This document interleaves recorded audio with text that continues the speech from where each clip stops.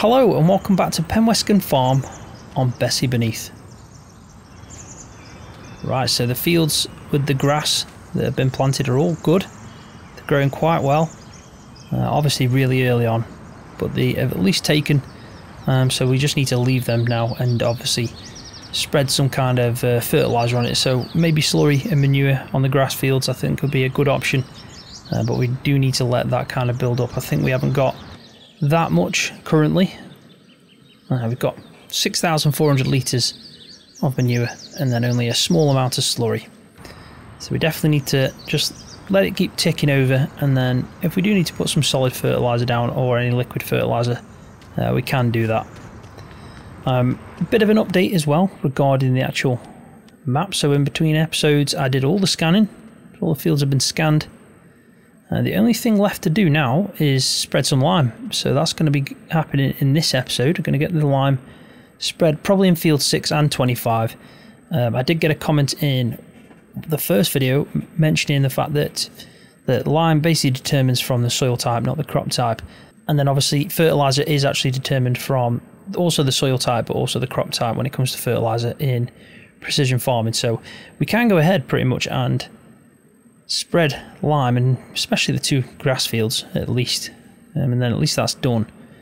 Um, and then like I said just fertilising uh, but we do need to decide what to grow in field 4 and field 9 so what I've been doing is looking at the actual crop types thinking about what we can do. We can't obviously do anything that's going to require a different header than what we've got. So we can't be doing corn uh, sunflowers anything like that.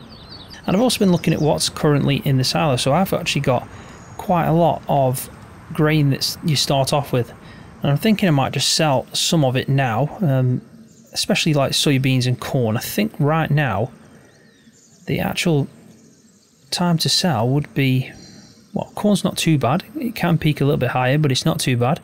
Uh, but soybeans, sorry, sunflowers is what I was looking at. That's an actual good time. So we could go ahead and sell some of the corn and maybe some of the soy sunflowers, and then yeah, move on to doing some lime spreading. I think that might be good for this episode.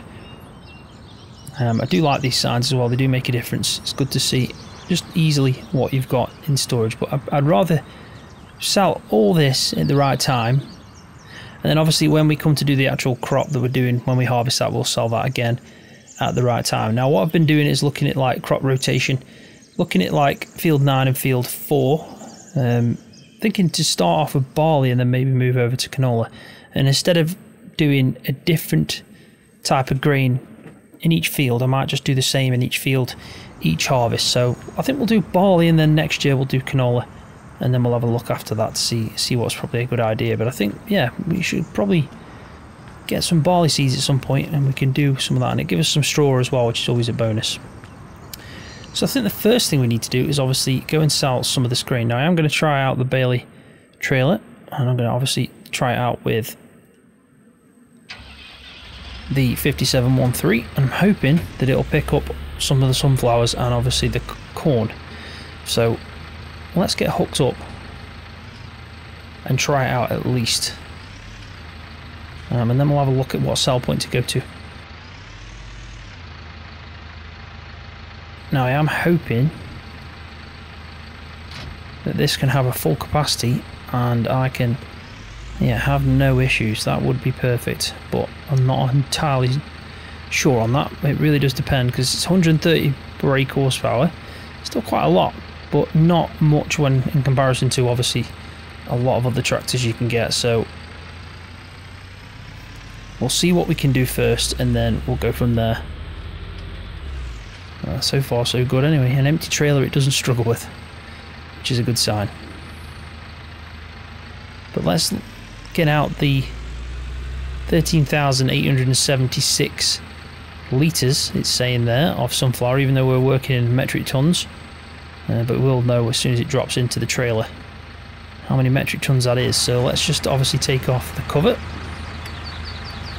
There we go. We'll probably get third person for this and let's have a look at what we've got. So we want sunflowers. We've got 2.4 tons of sunflowers. I'm hoping this trailer holds that. should do. So 63%. So I, I doubt, wrong button, I doubt that this is going to struggle, to be honest. Uh, but you never know. But before we go, let's have a look at the map and find out where the best place to take sunflowers is right now. So obviously, so the best place is this Kellandra Grains. Kellandra, I think that's how you pronounce that. Kellandra Grains, £8,425 per metric ton, and we've got 2.4, so it's good money. It really is good money. So let's have a quick look on the map where this is. Just down there, so a bit of a drive. I imagine to get there, we're probably going to have to maybe make a turn in here or maybe across there. But I won't know until I find out. So let's head out, follow the road down, and we'll make our way. Um, and it obviously gives me a bit of practice with the steering wheel as well. So you can definitely tell that I've got 2.4 tons behind this. But you shouldn't have an issue. I did go to the shop and buy some AdBlue, so as you can tell I've got two 50 litre canisters there of AdBlue for the tractor because this is currently at 62% so it's going to need some soon. We've still got some room obviously but we are going to need some. So it's pretty much a straight road, uh, stay on this road all the way down and then I'll have to try and find uh, the correct entrance getting into that sell point.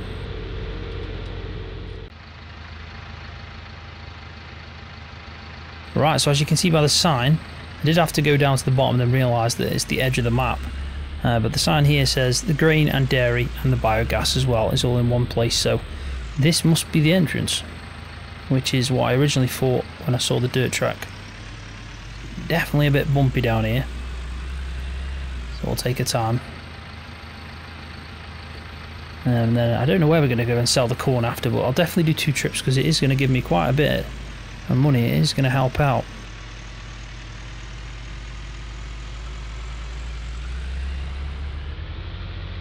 But the one thing I will say is it's a very bumpy track. I think it's leveled out a little bit here, so this helps. do like though the look of it. It's like it's on a farm.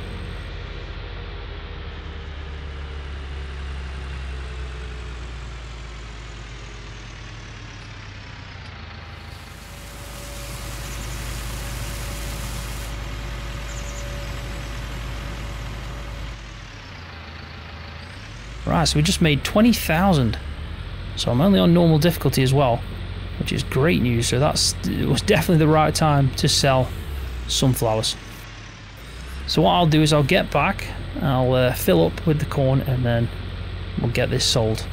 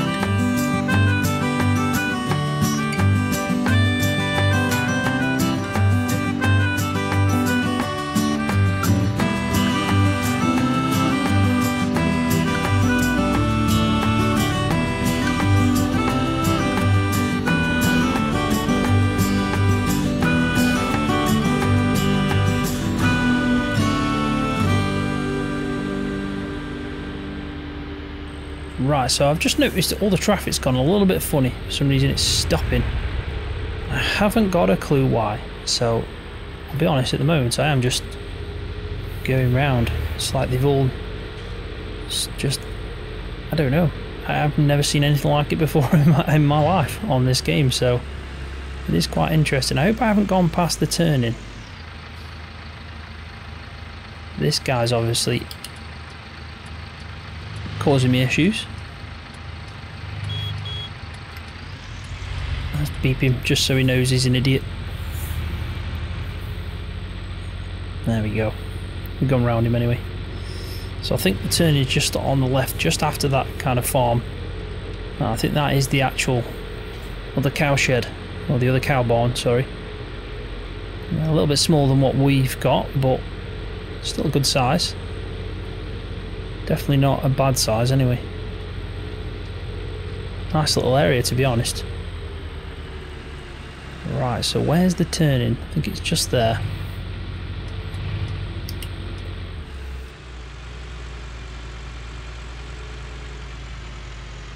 Right, so let's practice again reversing and hopefully this time I'll get it spot on. Because it is, it is quite difficult when you're so used to doing it one way for such a long period of time um, and then you keep driving a little bit different but if we just take it slow like now I am taking it slow I think Discord's probably pinging me right now so that's uh, never good because that's distracted me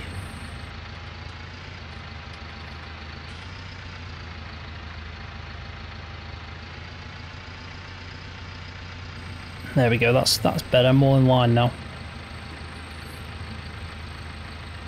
There we go, that's uh, a lot easier.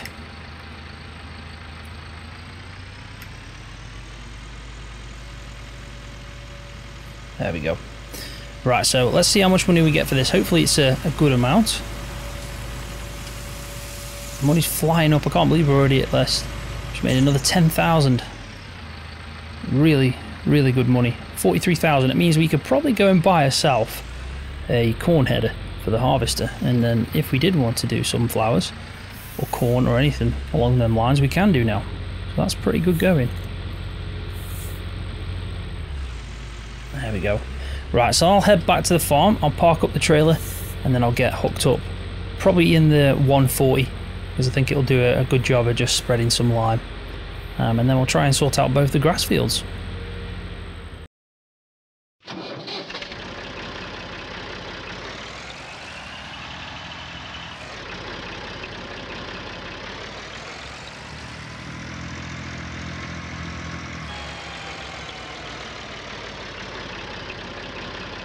Right, so let's get hooked up and start spreading some lime. The 140 should do an easy job of this really. It's not that big a spreader. Uh, but it is big enough that it won't take too long anyway. There we go.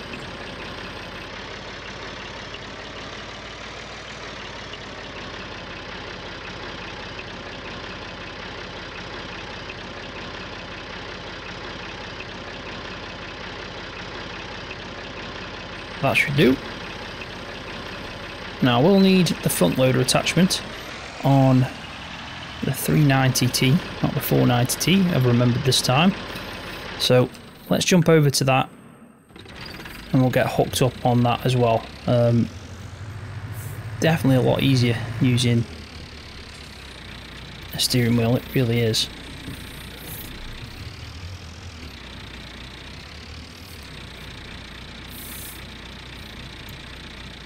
I'm hoping it's not picking up too much sound. It is quite difficult not to obviously pick up some of the sound um, because of the fact that it is a moving wheel.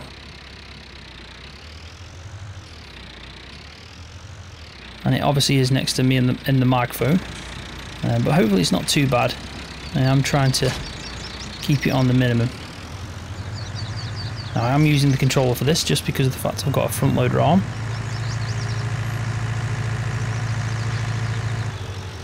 We need just the one bag of lime. I'll probably keep it suspended because I imagine that it's going to get through this quite quick. I just hope that with the four bags that I've got, it's enough. I imagine it is, but... There we go.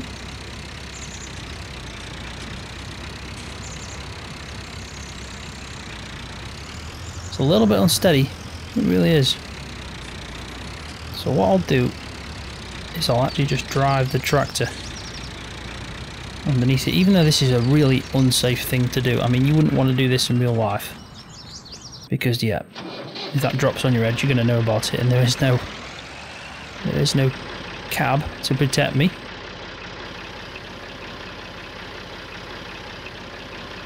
So that's half a ton in this. And as you can see, still quite a bit left in the bag. So let's go and crack on with this. I am going to be using again the steering wheel for this because I think it's just a perfect job for it. Uh, but I might get into third person. I mean, yeah, it's not too heavy on the front. I was thinking, I mean, on the back, thinking I might get a bit of a an effect where it's, you know, going to tip back and do a bit of a wheelie, but it, it looks alright. It really does. Right, so let's start off from about here. Um, and it should, fingers crossed, be a good span because I remember it was like 18 meters. Yeah, that's pretty good. So this is going to make easy work of it. It really is. But the only problem we've got is it's using so much of it. I'm already at 46%. This is mental. So even just to do the one field is going to take a long time because the amount of times we're going to have to keep refilling. So might be a good idea to bring the bag over to the field. So let's go and let's go jump into the 390T, bring the bag over here. Because that was half a ton. That's insane. I am hoping that uh, we've got quite a bit left to be honest. We should be able to drive like this. Uh, I might need to get some more lime anyway. That's the one thing I've definitely learned from that. We'll definitely need to get more lime.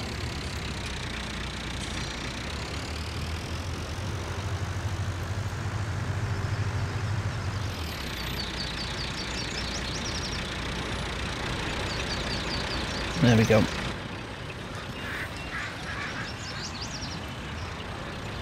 So I can't remember if there was a ton in a bag or two ton. But we'll find out from this. So there's definitely more than a ton in a bag. But look how much I actually did. This uh, this field is in dire need of lime and it's completely drinking it.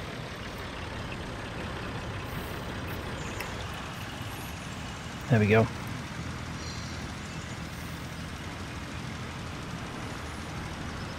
It doesn't actually look like it's going down as much on this soil type, so it's only on, I guess it's the loam. When it's on the loam, it really does take quite a bit of uh, lime, but now that we're on this section of the soil, which I will have a quick look after it's emptied, we'll just have a look which type. I remember it was um, loamy, I think it's loamy sand and loam. Now, I'm going to switch over now to the other other type and as you can see it's now dropping a lot quicker.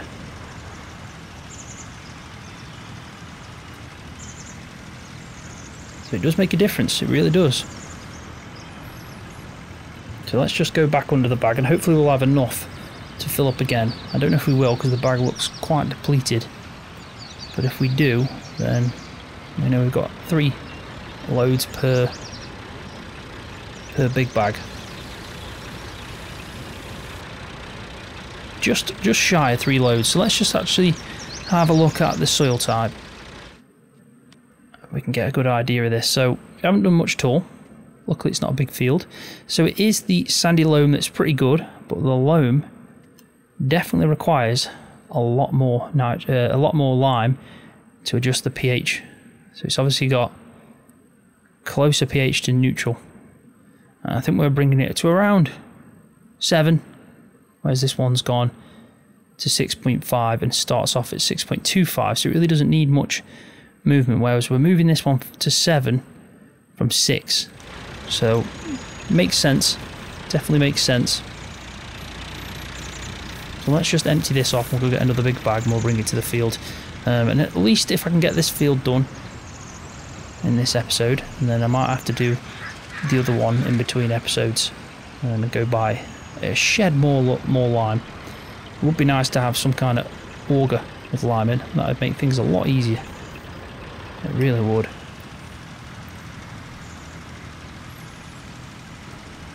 But at least the um, 140s uh, having no problem with doing this field.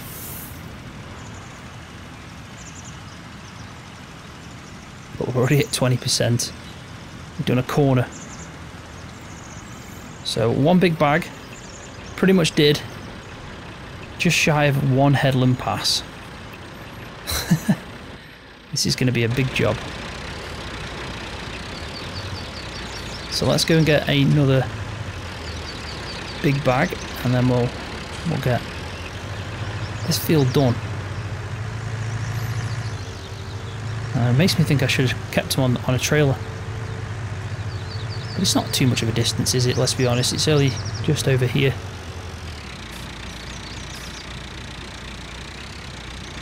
Um, it's going to make a difference as well when we do come to using the grass silage to either sell or obviously for feed. So it is worth it really.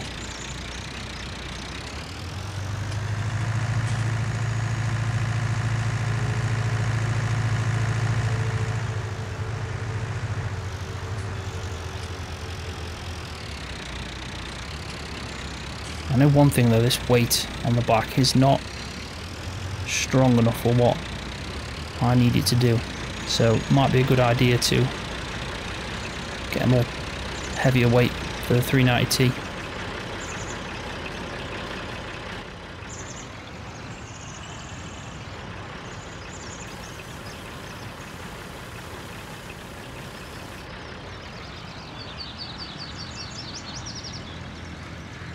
So I am confident that the four bags will do this field at least.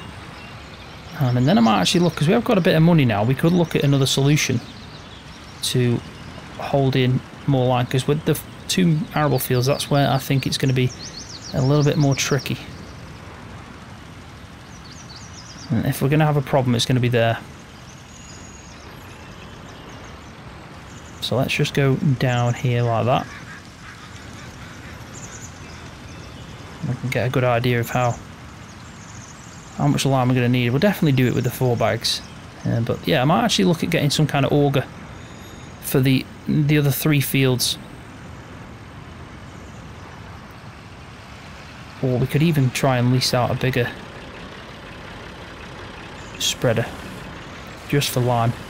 This will be perfect for fertilizer because the solid fertilizer doesn't doesn't get consumed anywhere near as quick as lime does. But we have got a lot of liquid fertilizer as well, so we'll have no issue with fertilizer. It's just lime.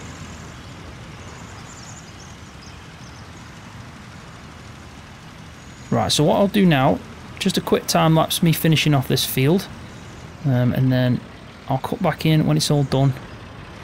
We'll have a look and see if there's anything I've got installed on this map to hold lime and maybe use it as an auger.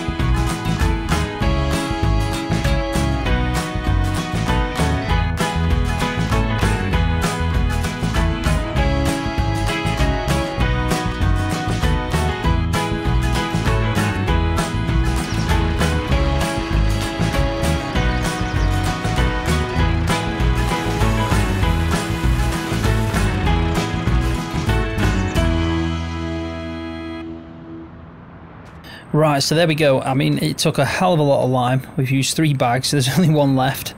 Um, we have got a little bit left in here, but we've pretty much tackled the smaller field out of the three, so uh, we're definitely going to need another solution to hold in lime. I don't mind obviously paying for the lime itself, that's not the problem. It's just, can we find a more efficient way of uh, loading it into this? I don't mind as well using this and then just keep going back.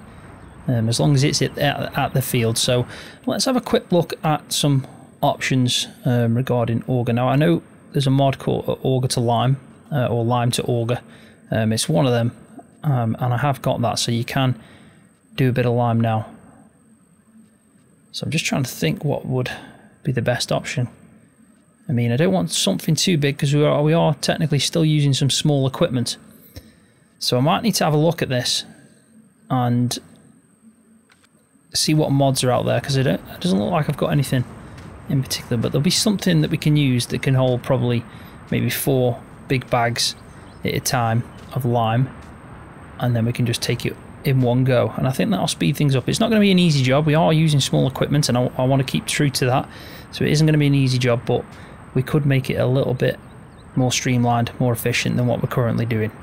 Uh, but I think for this episode we have done well. We've made a bit of money. We've sold some of the grain uh, that's already sitting in the silo, which is always a bonus. And I always forget about it. The only time I ever sell it is when I've put some of the grain in it from harvest, and then I end up selling uh, what was left. So yeah, we've got quite a bit in here, um, which again is all good money and um, will help us along the way. But I am going to leave the video there, so thanks for watching. Hopefully you've enjoyed it. If you have, please give it a thumbs up. That really does help my channel out. And if you're new, don't forget to hit that subscribe button for more videos just like this one on Farming Simulator.